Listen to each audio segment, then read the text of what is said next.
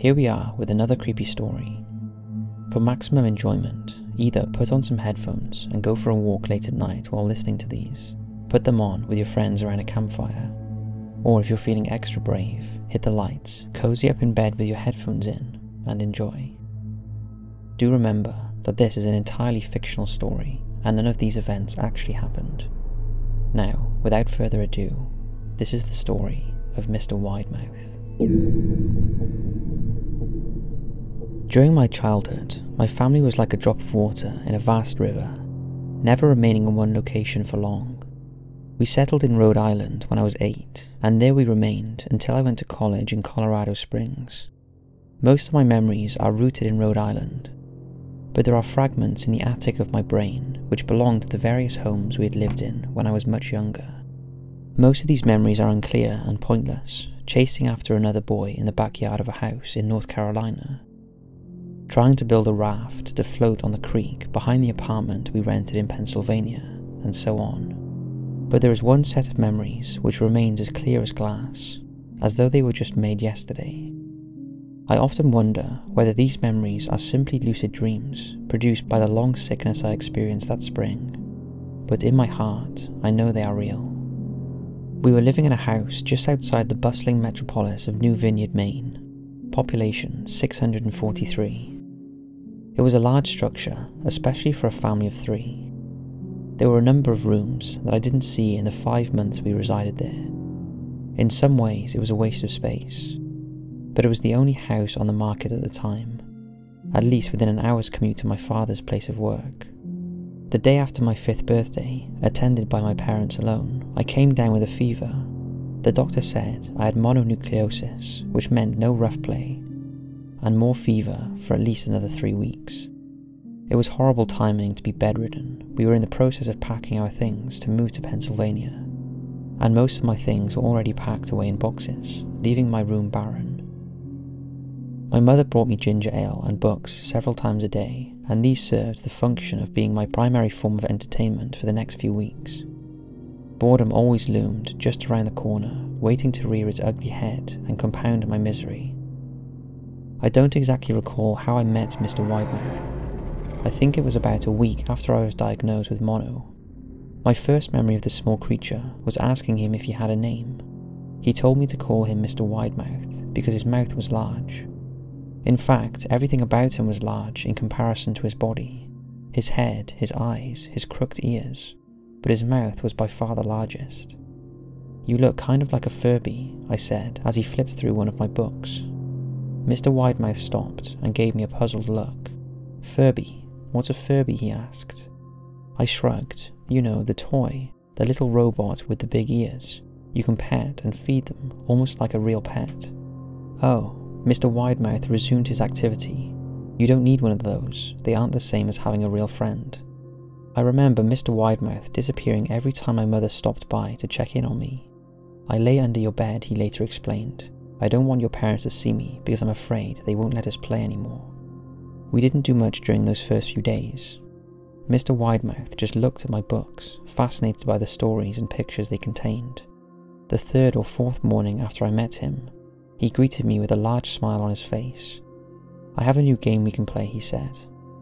We have to wait until after your mother comes to check on you because you can't see us play. It's a secret game. After my mother delivered more books and soda at the usual time, Mr. Widemouth slipped out from under the bed and tugged my hand. We have to go to the room at the end of this hallway, he said. I objected at first, as my parents had forbidden me to leave my bed without their permission but Mr. Widemouth persisted until I gave in. The room in question had no furniture or wallpaper. Its only distinguishing feature was a window opposite the doorway. Mr. Widemouth darted across the room and gave the window a firm push, flinging it open. He then beckoned me to look out at the ground below. We were on the second story of the house, but it was on a hill, and from this angle the drop was further than two stories due to the incline. I like to play pretend up here, Mr. Widemouth explained. I pretend that there is a big, soft trampoline below this window, and I jump. If you pretend hard enough, you bounce back up like a feather. I want you to try. I was a five-year-old with a fever, so only a hint of skepticism darted through my thoughts as I looked down and considered the possibility. It's a long drop, I said. But that's all part of the fun. It wouldn't be fun if it was only a short drop. If it were that way, you may as well just bounce on a real trampoline. I toyed with the idea, picturing myself falling through thin air only to bounce back up to the window, on something unseen by human eyes. But the realist in me prevailed. Maybe some other time, I said. I don't know if I have enough imagination. I could get hurt. Mr. Widemouth's face contorted into a snarl, but only for a moment. Anger gave way to disappointment. If you say so, he said. He spent the rest of the day under my bed, quiet as a mouse.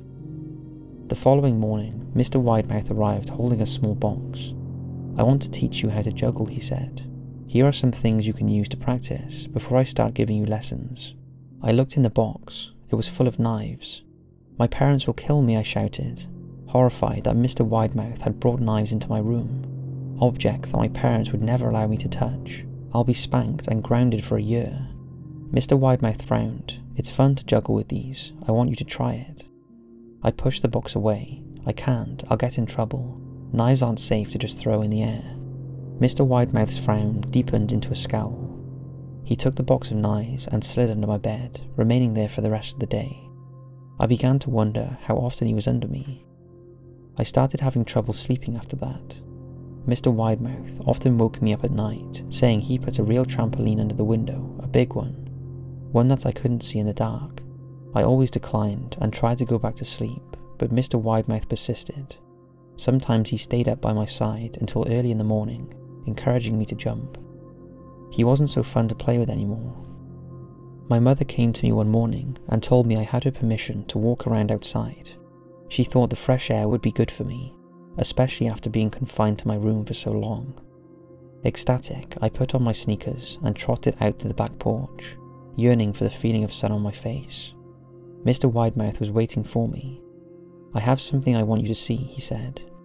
I must have given him a weird look, because he then said, It's safe, I promise.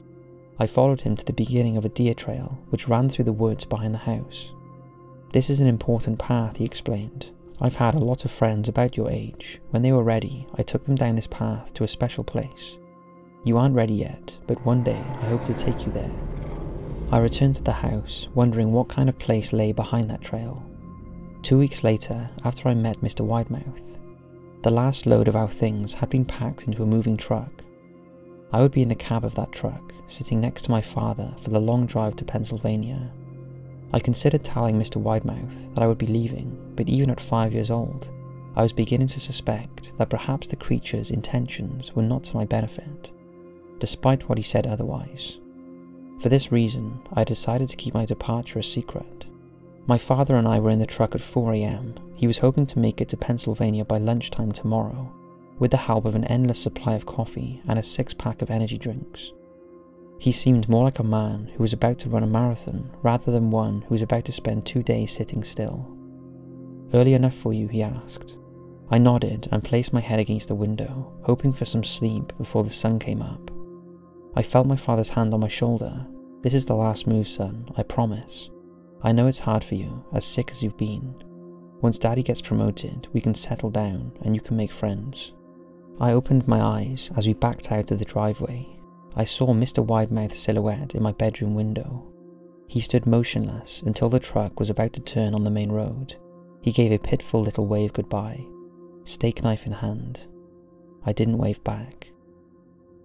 Years later, I returned to New Vineyard. The piece of land our house stood upon was empty except for the foundation, as the house burned down a few years after my family left. Out of curiosity, I followed the deer trail that Mr. Widemouth had showed me. Part of me expected him to jump out from behind a tree and scare the living bejesus out of me, but I felt that Mr. Widemouth was gone, somehow tied to the house that no longer existed. The trail ended at the New Vineyard Memorial Cemetery. I noticed that many of the tombstones belonged to children.